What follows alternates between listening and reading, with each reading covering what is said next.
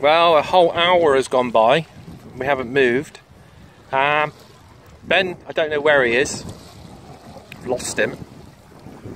He's uh, doing something. There he is. Having a poo like his dad.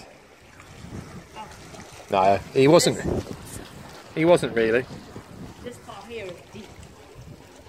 And there's rocks beneath it as well. Yeah, you don't want to jump in that bit. That's the place you've got to jump in. Yeah, you'd be hit against the rocks there, Ben.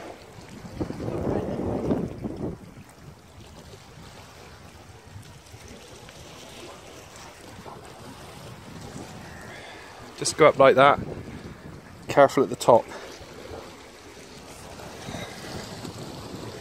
Awesome.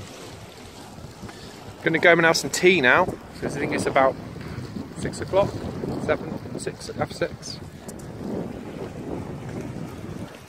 We called this Locksy's Cove. Can't get enough of it.